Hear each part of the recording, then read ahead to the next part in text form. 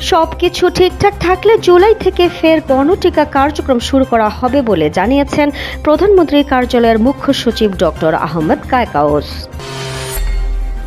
লক্ষ্মীপুর দুই আসনের সাবেক সংসদ সদস্য কাজী শহীদ ইসলাম পাপুলের এমপি পদ বাতিল ও শূন্য আসন ঘোষণার বৈধতা চ্যালেঞ্জে রিট খারিজের আদেশ বহাল রেখেছেন আপিল বিভাগ।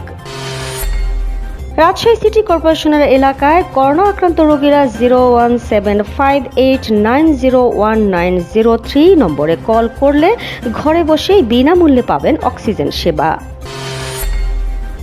নাটোরে গত চব্বিশ ঘন্টায় একশো আটাশটি নমুনা পরীক্ষা করে করোনা আক্রান্ত ছেষট্টি জনকে শনাক্ত করা হয়েছে। পরীক্ষা বিবেচনায় শনাক্তের হার একান্ন দশমিক ছাপ্পান্ন শতাংশ। পৃথিবীর কক্ষপথে নিজেদের নতুন মহাকাশ স্টেশন তিয়াঙ্গং ওয়ে তিনজন নভোচারীকে পাঠাচ্ছেন চীন। নভোচারীদের পৃথিবী থেকে প্রায় তিনশো আশি কিলোমিটার উপরে তিয়ানহে মডিউলে তিন মাস থাকতে হবে। রিয়াল মাদ্রিদের সঙ্গে দীর্ঘ ষোলো বছরের সম্পর্ক ইতি টানছেন সার্জিও রামোস।